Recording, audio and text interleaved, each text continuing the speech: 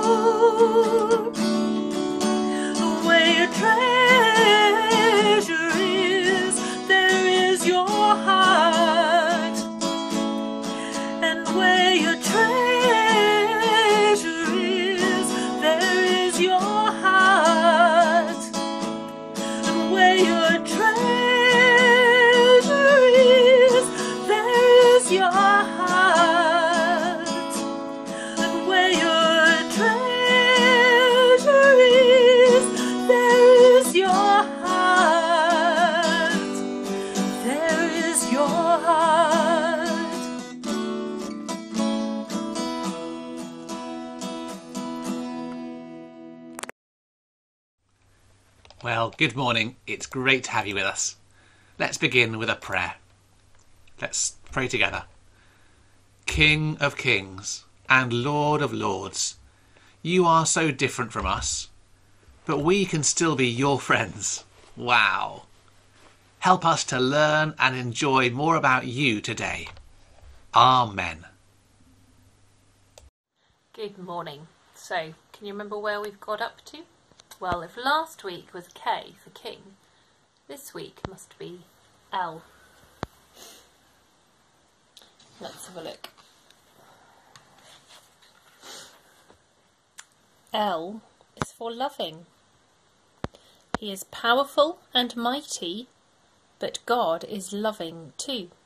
He carries on loving us, whatever we do. Well, in our series, we've been thinking about some quite big words, some quite tough words, words that maybe we don't use very often, like divine or infinite. The word loving is a word that we use a lot more, isn't it? But it's still quite a big idea. Uh, and we use the word love in all sorts of different ways, don't we? From I love my mum to I love chocolate. Let's have a little stop and a think with each other. How do we know when people love us? What are the loving things that people do? Maybe what do we do if we want to show somebody that we love them? How do we know if someone loves us? Why don't you chat amongst yourselves?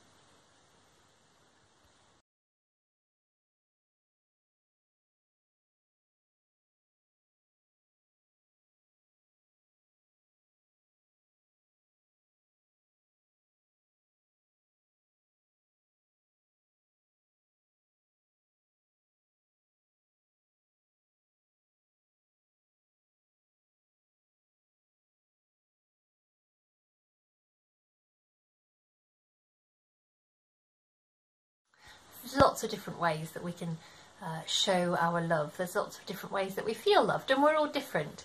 Um, but I've had a little bit of a think about some of them. So, one of the ways that we can show love is we speak about it. If we love somebody, we like to tell them we love them. We like to tell other people we love them too. God is loving. God tells us that he loves us. The Bible is full of times when God has told his people how special they are to him, how treasured they are to him. So love speaks. But it's not just about words, is it? Because if we just said I love you but never did anything about it, it might be a bit strange.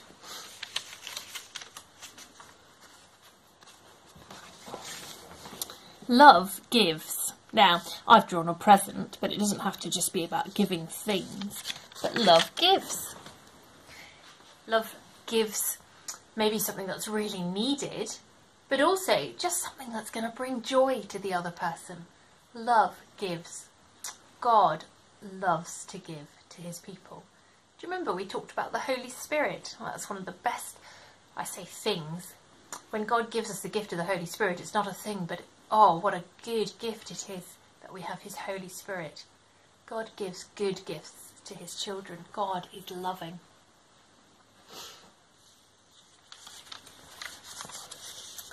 Love enjoys.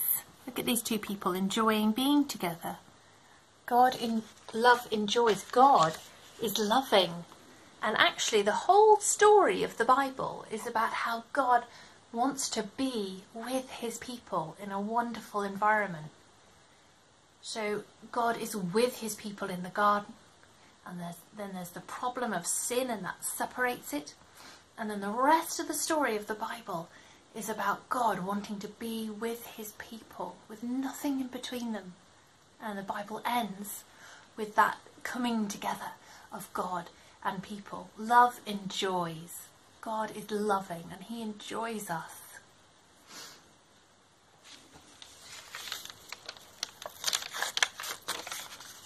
And love helps. This poor person's falling down, and this person has come to help them. God helps us in so many ways. But the biggest way that He helps us, and the biggest way that He says, I love you, the biggest gift He's given us, and the way that He's able to enjoy being with us, is when He gave us Jesus.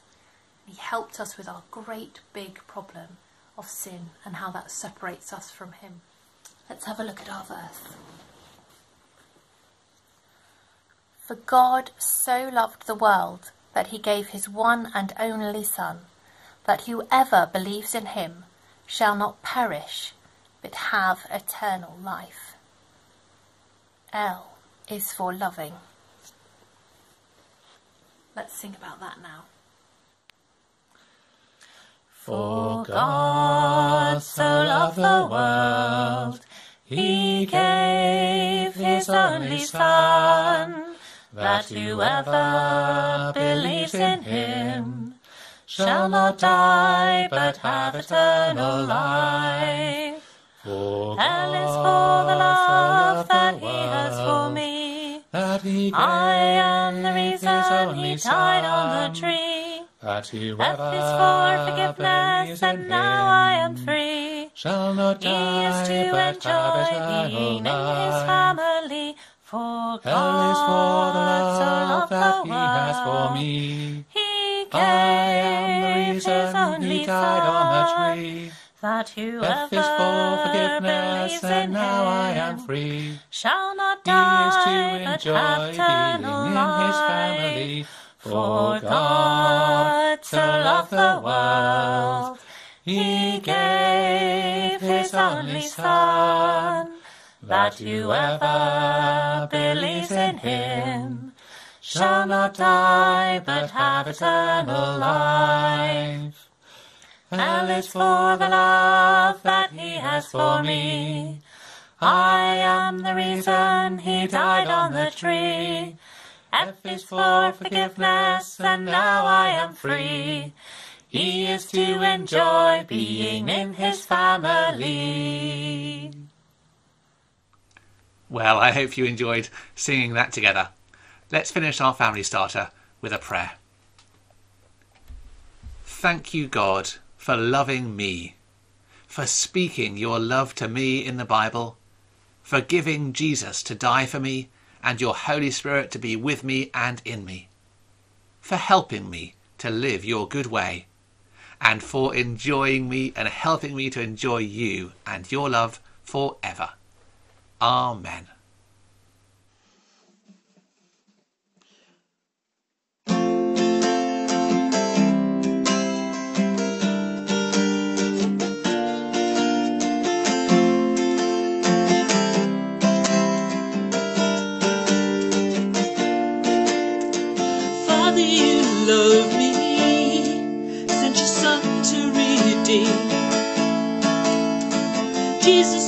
Wash me, by your blood I am clean.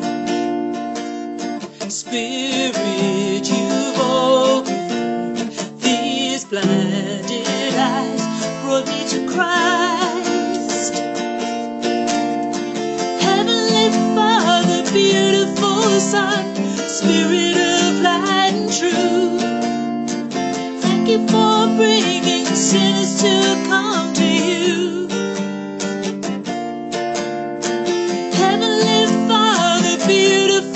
Son, Spirit of light and truth. Thank you for bringing sinners to come to you. Father, you gave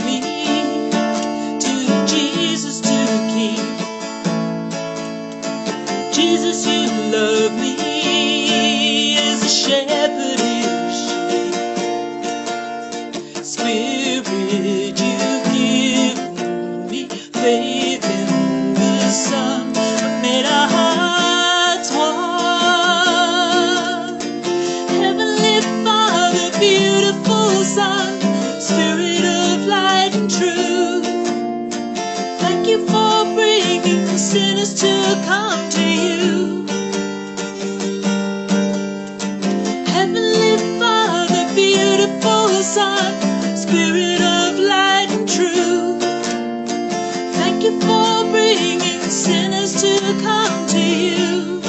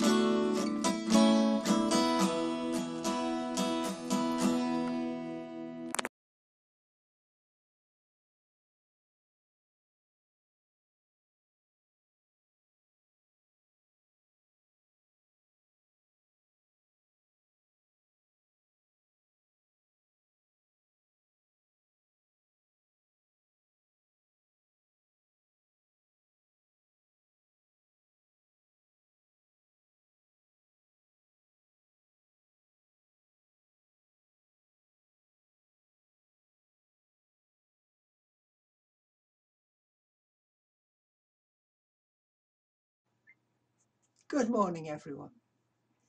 A warm welcome to you on this, the third Sunday of Easter, as we continue to reflect on the difference that Jesus' death and resurrection makes in our daily living.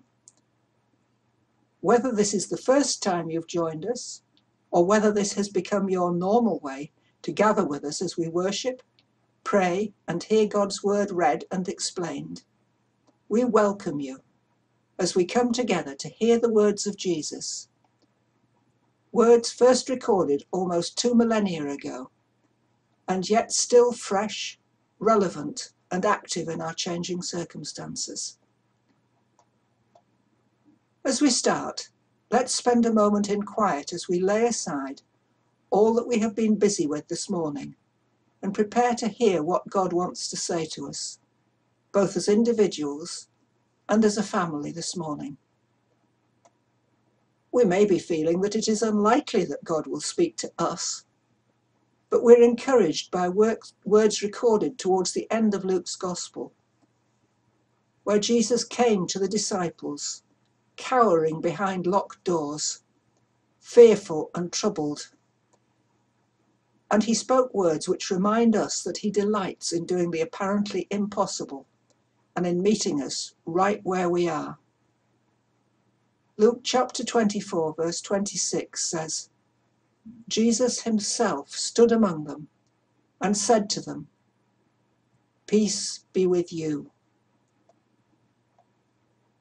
This encourages us to increase our longing and confidence that God will meet and speak to each one of us in some way this morning. So, as we begin, let's ask God to open our eyes, our ears, and our hearts, and help us to be ready and eager to hear whatever He wants to say to us. Let's pray. It's good to be together, God, on these screens, with these people, together, listening for your voice, united by your Spirit in this time of worship, tell us about your kingdom of kindness so that we can seek it. Show us your justice. We want to walk with you humbly, closely, daily. Amen. Our first song picks up on our desire to become more like Jesus as we live our day to day lives and learn to live more fully as children of the King. Please join with us using the words on the screen and on your sheets as you sing, Teach me to dance to the beat of your heart.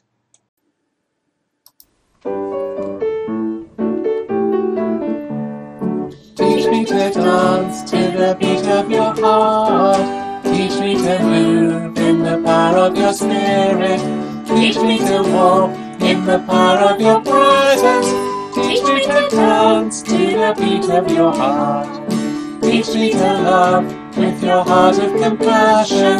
Teach me to trust in the word of your promise. Teach me to hope in the day of your coming. Teach me to dance to the beat of your heart. You run the rhythm of life, creator's heaven and earth. In you is joy without measure. So like a child in your sight, I dance to see your delight, for I was made for your pleasure.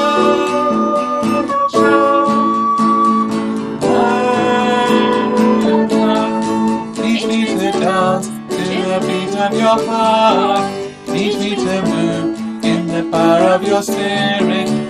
Teach me to walk in the power of your presence. Teach me to dance to the beat of your heart. Teach me to love with your heart of compassion. Teach me to trust in the word of your promise. Teach me to hope in the day of your coming.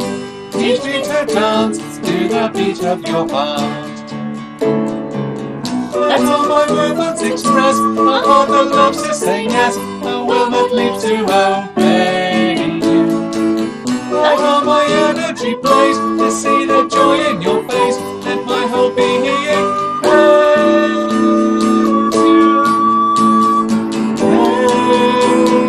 you. Teach me to dance to the beat of your heart. Teach me to move in the power of your spirit. Teach me to walk in the power of your presence. To dance to the beat of your heart. Teach to love with your heart of compassion. Teach to trust in the word of your promise. Teach to hope in the day of your coming.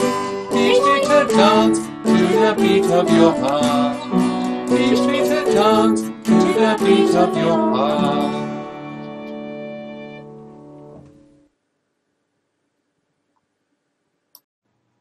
Now I'll hand over to Tudor as we look at the next letter in our alphabet of the attributes of God. Well, it's time for our next letter in our A to Z of God. And of course, these words do not encompass God, but they illustrate the nature of Him, the wonderful joy of being the children of God. Because God is, is rich in depth. One word we haven't got under our letter N today, one word we haven't got down is the word nice. I don't know about you, when I was at school, I remember distinctly my English teacher saying, don't use the word nice. There are so many deeper, richer, more wonderful words we can use. Using nice is a little bit lazy. So I haven't got the word nice here, but actually there are so many other words uh, which describe better. Let's go a few of the ones, other, other ones we do have beginning with N coming up. So we've got God is near. He's not a, a distant God, unknowing of us. He is near. And in fact, by the Holy Spirit, He is in us. God is new. He gives, He's a transformation. He, new every morning is the love our waking and uprising prove. And God is now. He's not just a God of the past or God of the future. God is now. He is at work now. He's also next, though. His purposes are always being worked out. He is the God who knows the future, who holds it in his hand. He is never ending. There's no need to, to fear that, oh, well, God will run out. He's never ending. He's never failing. His promises will never let us down. As we'll learn a little later, actually, if our treasure's in Him, then we're safe. If it's elsewhere, it'll go. Next one I like it. God is noble. He's admirable. He is, his character is, is beautiful. He's a noble God. And he's a nurturer as well. He's not just uh, someone who looks good, he's one who gets his hands dirty, who cares, who nourishes, who helps us out. Oh, let me praise. Let's pray right now. Lord God, we thank you for all that you are for us. We thank you for all you bless us with. Lord, enrichen our delight in you. Enrichen our vision of you. Help us, Lord, to praise you and enjoy you as you deserve. In Jesus' name, Amen. Well, back to Sue now.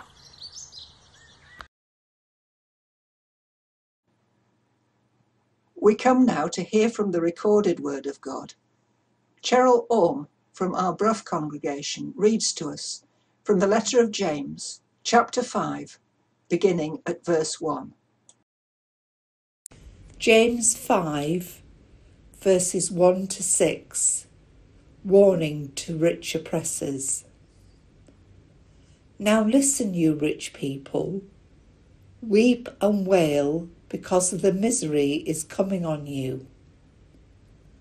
Your wealth has rotted, and the moths have eaten your clothes. Your gold and silver are corroded. Their corrosion will testify against you and eat your flesh like fire. You have hoarded wealth in the last days. Look, the wages you failed to pay the workers who mowed your fields are crying out against you. The cries of the harvesters have reached the ears of the Lord Almighty. You have lived on earth in luxury and self indulgence. You have fattened yourselves on the day of slaughter. You've condemned and murdered the innocent one who was not opposing you. This is the word of the Lord. Thanks be to God. Thank you, Cheryl. Shall we take a moment now to look back on our week and bring to our loving and forgiving Father the ways we have hurt him and our brothers and sisters by our disobedience and shortcomings, and ask for his free gift of forgiveness as we pray a sorry prayer together.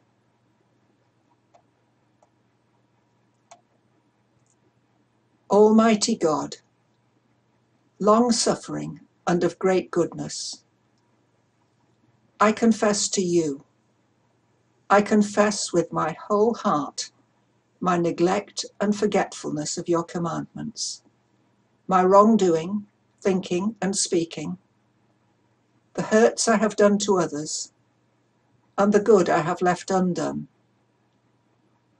O God, forgive me, for I have sinned against you, and raise me to newness of life, through Jesus Christ our Lord. Amen.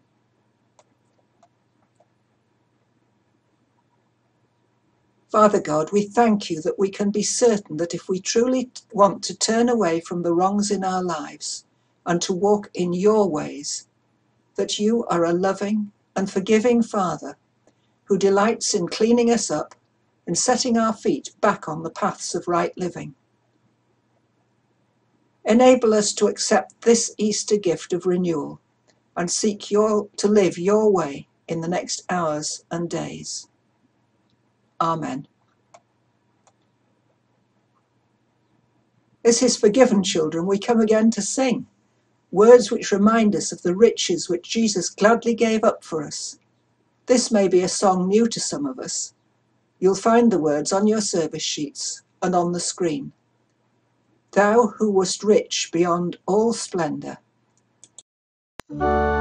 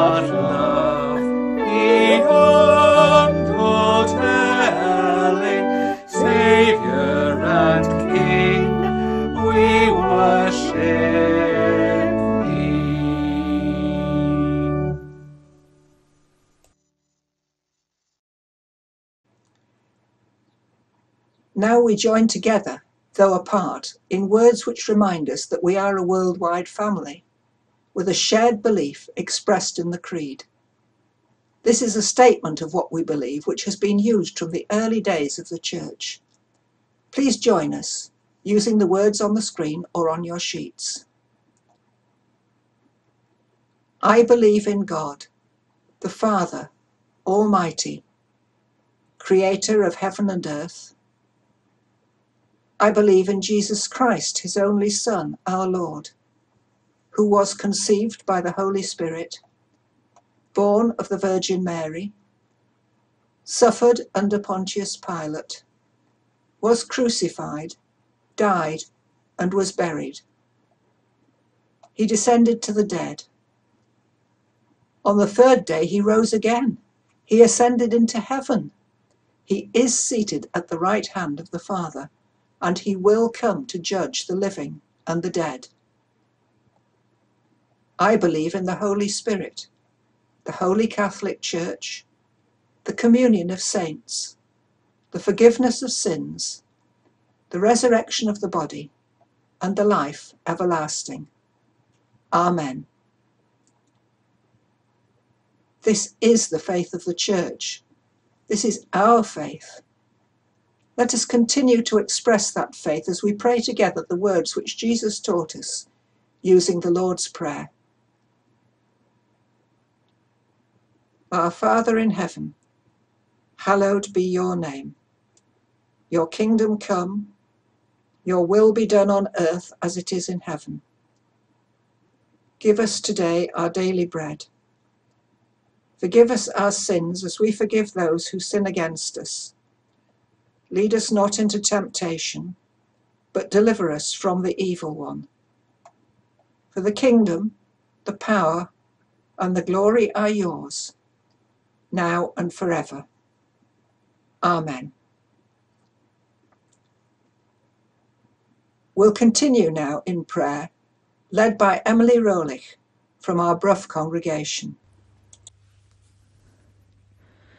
Almighty God, our Heavenly Father, you promised through your Son Jesus Christ to hear us when we pray in faith. Risen Christ, open our heart to the stranger. May we recognize that we are all made in your image. Lord of love and hope, you made the world and care for all creation. But the world feels strange at this time. Some are worrying about illness and the coronavirus. Others are anxious for their family and friends and their incomes and jobs. Be with them and help them to find peace. We continue at this time to pray for medical personnel, politicians, and key workers dealing with the pandemic. We thank you, Lord, for the vaccines and the rollout progress thus far. Bless and guide Elizabeth, our Queen and leader. Give wisdom to all in authority, and direct this and every nation in the justice of in the ways of justice and peace, that we may honour one another and seek the common good. Hear us, Lord, as we remember those who have died in the faith of Christ according to your wonderful promises. We especially think of Her Majesty the Queen as she grieves the loss of her husband, Prince Philip, the Duke of Edinburgh.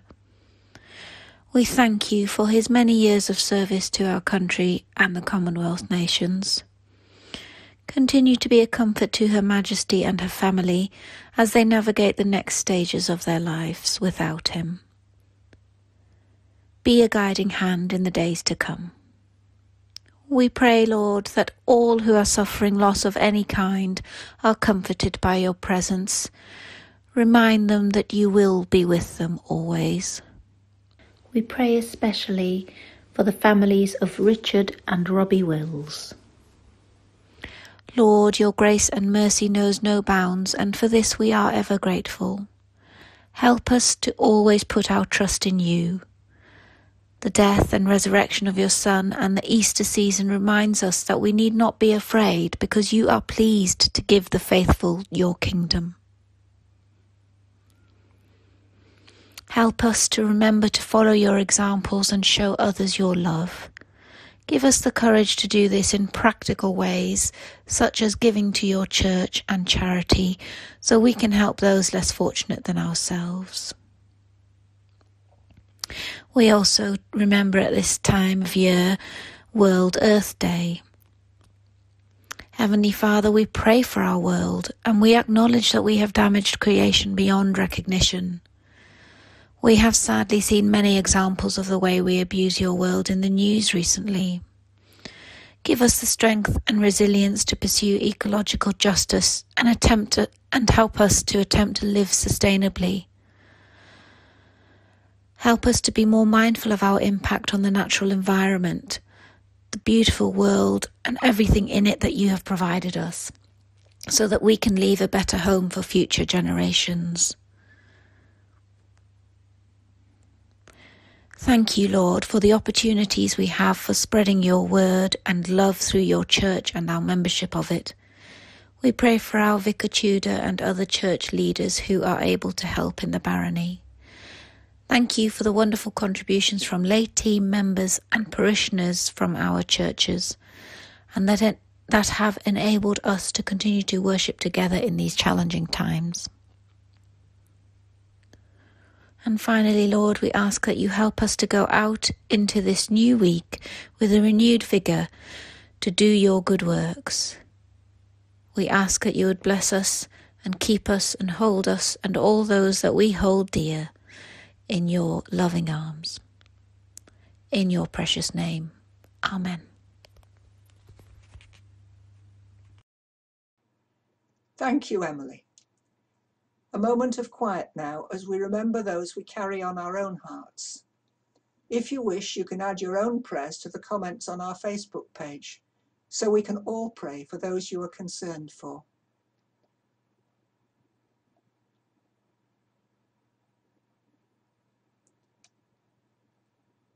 So let's gather up all our prayers and join together in the diocesan coronavirus prayer. Loving God, as your Son healed the sick and brought good news to the needy, be with us this day. Loving Jesus, as you taught us to do unto others as you would have them do to you, be with all in the caring professions this day. Loving Spirit, your gift is healing. Bring your healing fire to our homes, our hospitals, and our country. But most of all, be with us this day.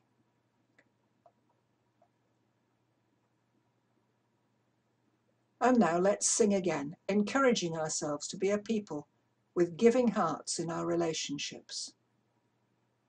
Go peaceful in gentleness.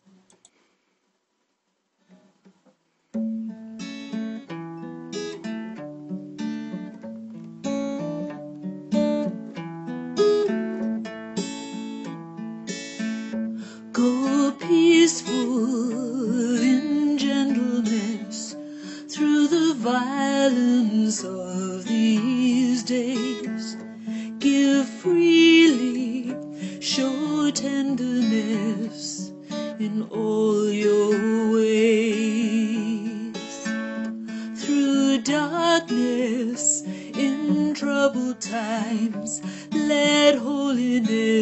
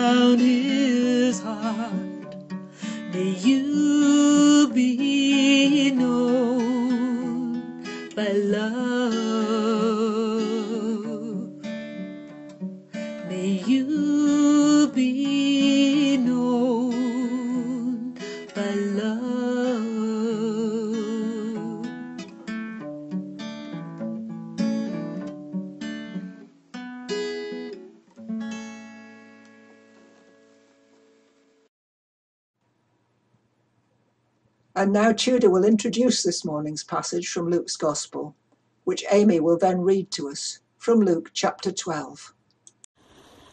Choices, choices, choices. All of our decisions reflect and affect our character. And some of our decisions set the course of our lives. What subjects we take at school, what jobs we apply for, who we date and marry, whether Jesus is the Lord, number one priority for us, or, or only playing second or third fiddle. To other things which are good, but which have become idols to us. Luke's Gospel has Jesus making a very big decision. He made it back in chapter 9 and verse 51, where we read that the, as the time approached for him to be taken up to heaven, Jesus resolutely set out for Jerusalem. Uh, now, Jesus going to Jerusalem wasn't a, a tourist trip, nor was it a, a change of a base for his operations. No, Jesus went to Jerusalem because that route to heaven that he deliberately chose was through the glory and the agony of the cross. Uh, Jesus knew what was coming and he taught his disciples, but they didn't get it. Uh, they didn't understand. Perhaps they didn't want to. Because sometimes it's more convenient to think, oh, I don't understand all that, so I'm going to ignore it and live as if it wasn't real. Maybe that's what his disciples did, as two or three times Jesus says, I will go and die on a cross.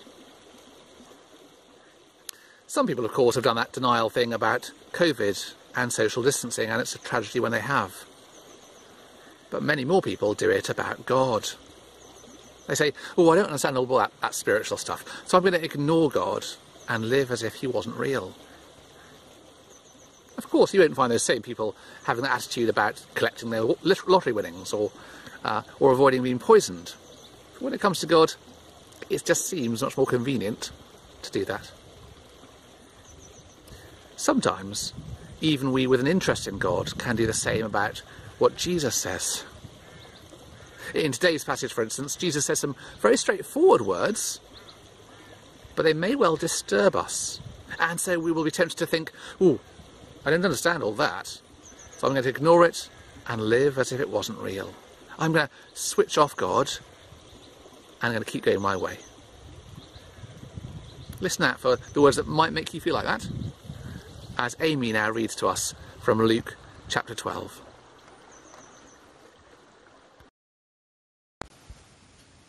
The reading is from Luke 12, beginning at verse 32, and Jesus is speaking.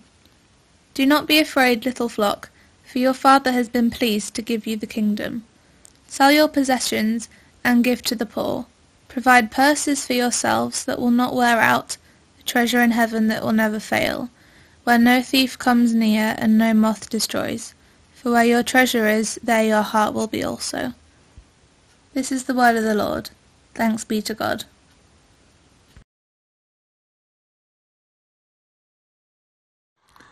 Let us pray. Lord, as we come to these simple but complex words of Jesus, may you help our hearts to delight in their hidden beauty. And may you free us, Lord, by your good news. In Jesus' name, Amen.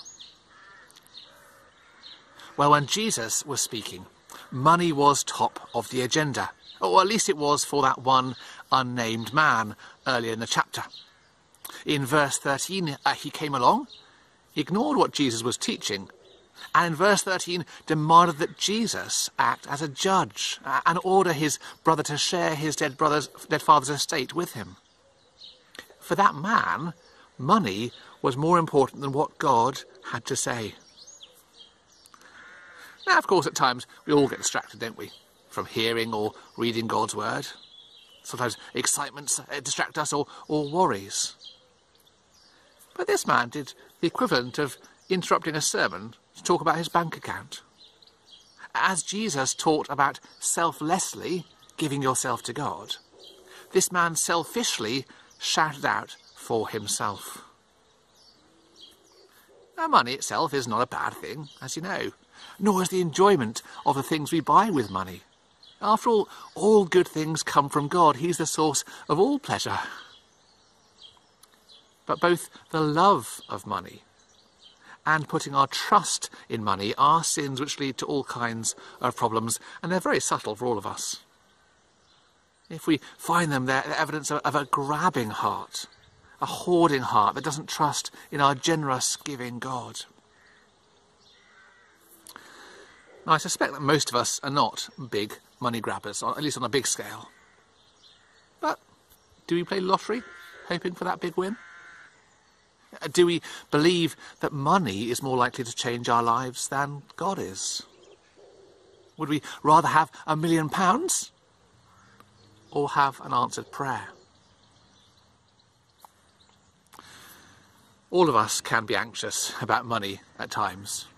What the recession might do to our pensions, whether we can keep the standards of living that we're used to.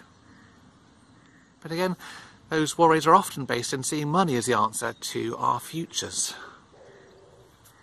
Last week, Jesus wonderfully pointed out how well God cares for the birds of the air and the flowers of the field, how much more valuable we are to God than they are.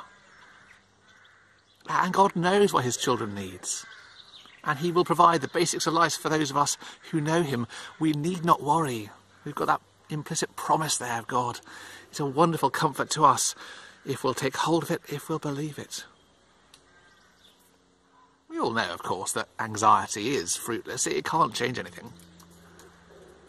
But ultimate anxiety, ultimate anxiety reflects an absence of faith, of not trusting that God can provide as he promises to.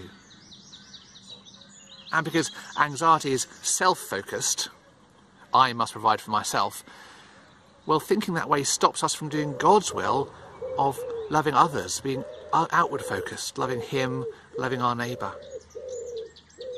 Of course, for some people, anxiety actually is a medical condition. It's an affliction rather than a sign of distrust. And if that's us, well, it can be really helpful to remember Jesus in the Garden of Gethsemane, because there he clearly experienced anxiety, didn't he? And so that condition of anxiety itself can't be a sin. But Jesus showed faith through it. He returned to the promises of God. And that's how the best way for us to try and deal with that anxiety that we get. So now we come to those tricky words of Jesus. The ones that may prompt us to think, oh, I don't understand all that. So I'm going to ignore it and pretend it isn't real. Because in verse 33, Jesus says, Sell your possessions and give to the poor. Sell your possessions and give to the poor. Uh, and this wasn't the only time he said it. No, later on in Luke, in chapter 18, we're going to meet the rich young ruler. And he asked Jesus what he needs to do to inherit eternal life. And Jesus told him specifically to sell everything. So you may be asking, well, does Jesus mean for me to do that too? Do I need to do that if I'm to be a Christian? Do I need to, to run a car boot sale for everything I own? Put my house on the market? Sell my car? Well, throughout history, some Christians have done this or, or something similar. For instance, Augustinian monks uh, throughout the ages and today take a vow of poverty, where they do sell all they've got and they give the funds to a common fund, Augustinian fund, to support one another and do good works. So, do I need to do the same? Do I need to tell all I've got? If not, why not? And if not, what do these words of Jesus mean for me and for us? Well, let's start by taking a look at the evidence, at the evidence of what they mean. You may know uh, in the book of Acts, in chapters 2 and chapters 4, some followers of Jesus, like Barnabas, sold some possessions to help out other Christians in need. It's a wonderful uh, time of generosity. They acted all together as if they were one. But not everyone sold things. And not, I know it doesn't say that anyone sold everything, and it was clearly voluntary. What was important was that nothing was counted as off limits. Nothing was said, well, that's my right, that's mine. Nothing was not to be used for the good of others.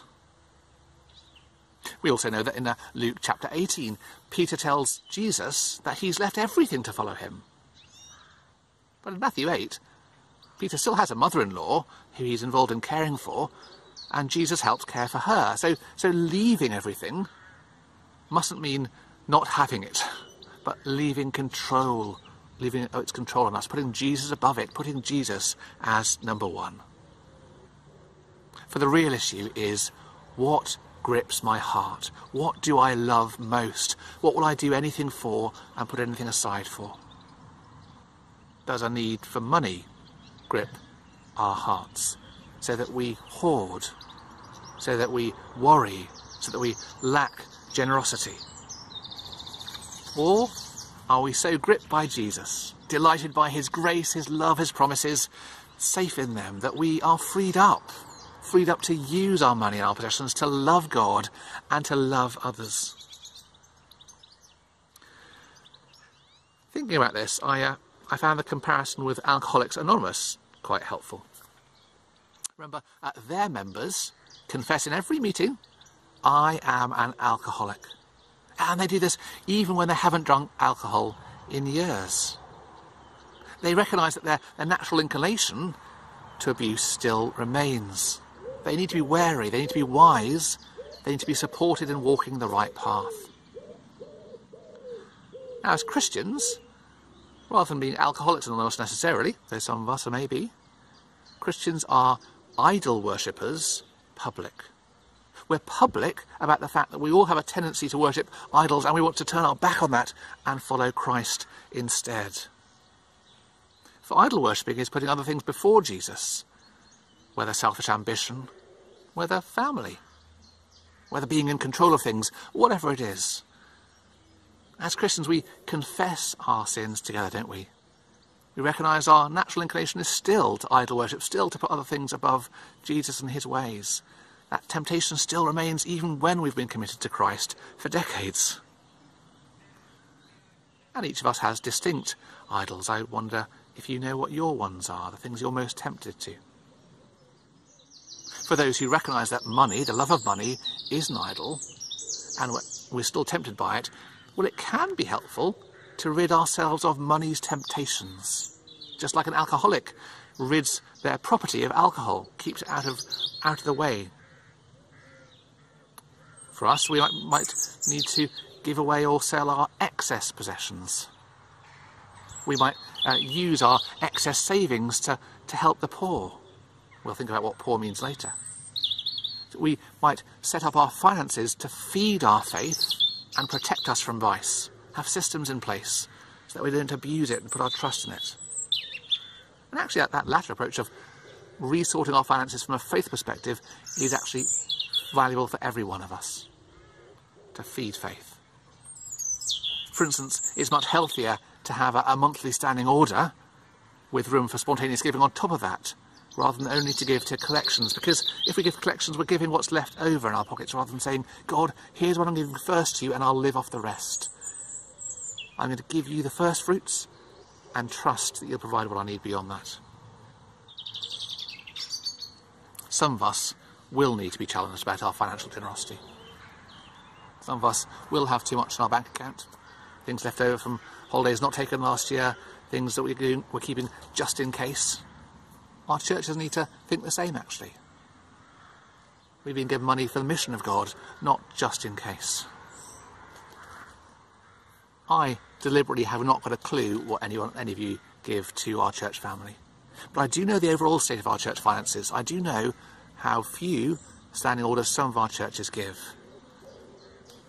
And as a whole, our churches are not generous, which is why we're in the financial predicament we're in. So maybe for some of you watching, this is something which does need to strike home. Uh, but for others, actually, it'll be putting guilt on you which really shouldn't be there. Some of us are in difficult situations where we're in marriages where the other half is not a believer. And so conversations about giving money to God's work are difficult. Perhaps some of us are genuinely struggling financially. If that's the case, please do ask. And there's someone in our congregation who I know would love to help. And I know a number of you are already giving generously, and you mustn't feel guilty about not giving enough. Because remember, God knows our situations, and His plans will not succeed or fail based on our money. In any case, actually, Jesus isn't asking for our money in this passage. Actually, He is giving to us again and again. That may sound surprising. In this passage, actually, Jesus gives three things. He gives us three gifts. Let's look a little more closely at the verses and we'll find these three things. We find the first gift in verse 32. For here, Jesus gives us freedom from fear by giving us the kingdom. Jesus gives us freedom from fear by giving us the kingdom. The reason that we fear is that we don't think we'll have enough. And so we, so we grab and we hoard things that, that won't last. But Jesus tells every Christian that God, our Heavenly Father, has been pleased to give you the kingdom. Wow. God hasn't done this grudgingly. No, it pleases Him to give us that which lasts forever and is all that we need and more. We already have every spiritual blessing in Jesus, we're told in Colossians and through, through God's family, the church, actually, He can provide for all our physical needs that we have too, those unexpected things that happen. And so, you and I need never worry or fear. We need never worry or fear about what we really need. But the question is do we really believe that the heavenly riches God gives are inexhaustible? Do we trust that Jesus is enough, that Jesus is trustworthy? Or do we think things like, well, we can't rely on God to do everything. We have to do a bit our bit as well. Or, well, God tops up what we do. Uh, God helps those who help themselves.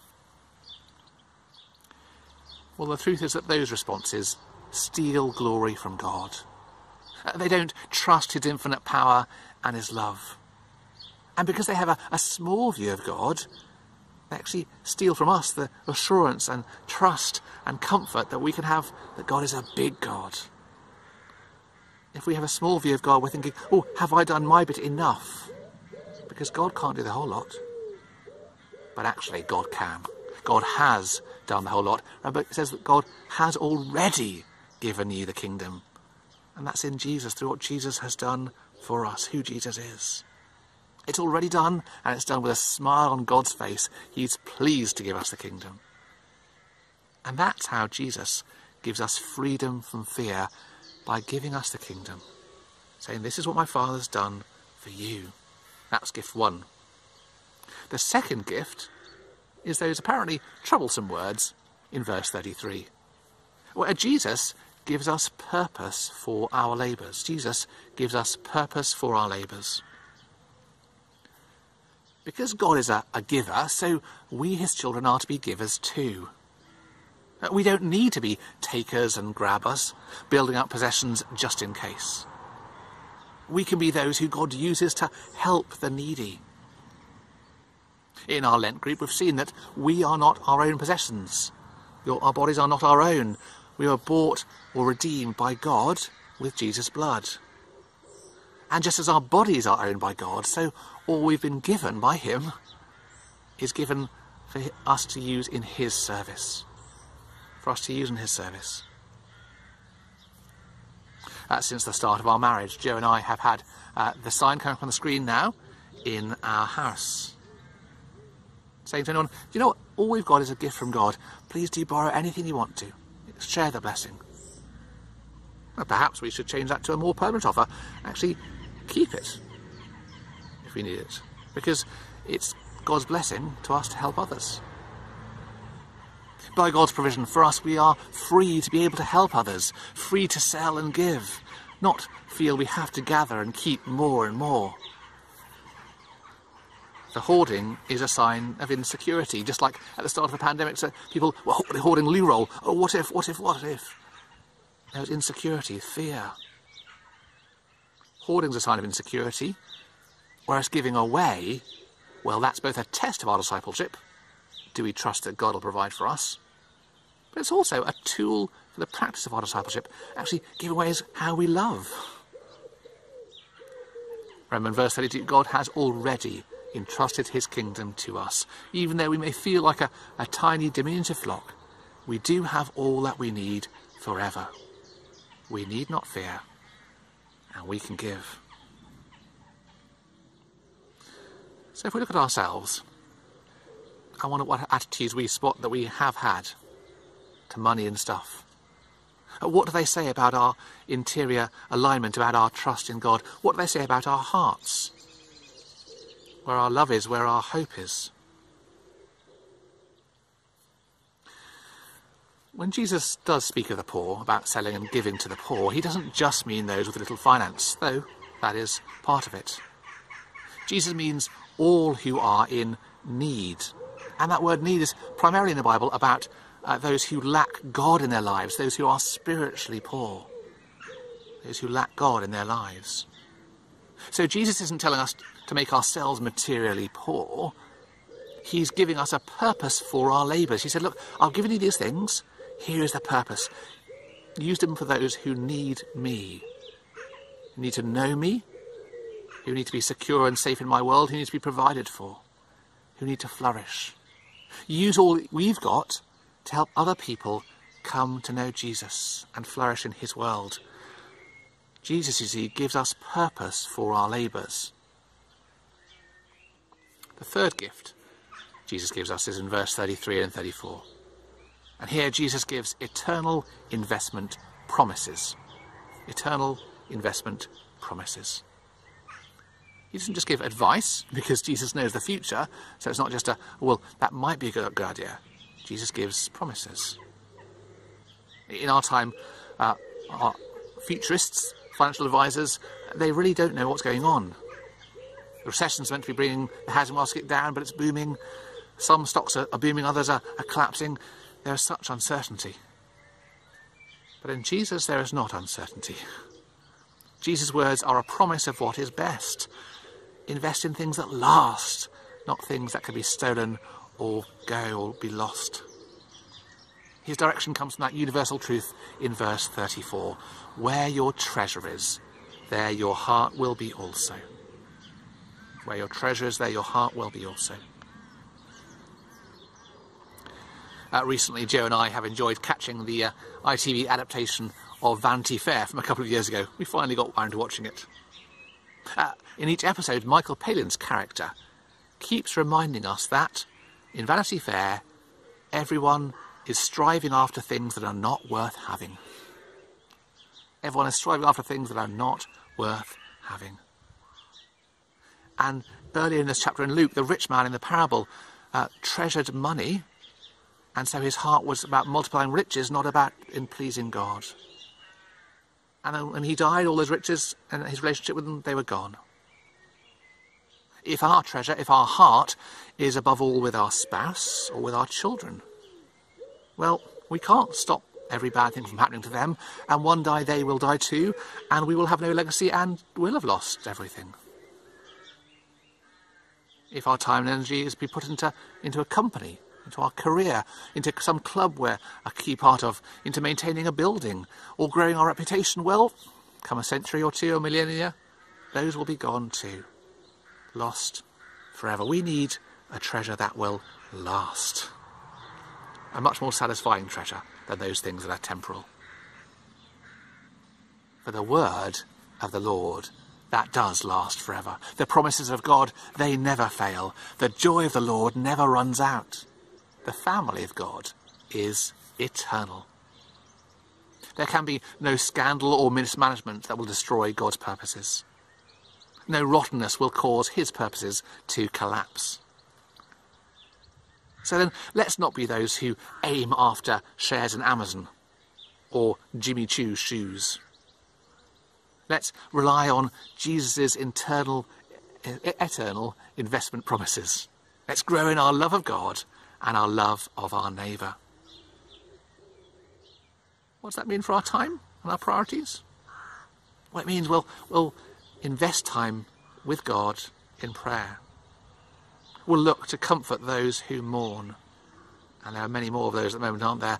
We'll look to give time to the lonely and search out who those are, people are. There are more lonely people now than there ever have been. We'll give time to studying our Bible, to knowing those promises of God. We'll chat with others in our church families about how as a church can be givers and not takers. And we'll make sure that actually our hearts know God's promises better than we know our bank balance. Because where our treasure is, there our heart is. That is what God's gifts free us from worry to do. Because where our treasure is, there our heart is. Here then we have three wonderful gifts from Jesus. The danger is, though, that we hear them and say, oh, well, I, I haven't done those things yet. I didn't understand them before, or, or my life hasn't been changed enough by them, and we still feel guilty. But again, remember those aren't three things that we have to do to please God, and if we don't, we're in trouble. No, those are three gifts from God. They're there to help us, not condemn us.